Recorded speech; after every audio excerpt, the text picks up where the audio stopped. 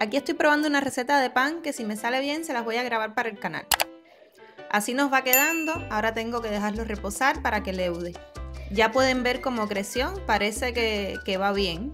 Miren esta delicia de pan, evidentemente fue todo un éxito, así que díganme en los comentarios si les gustaría que le grabara esta receta.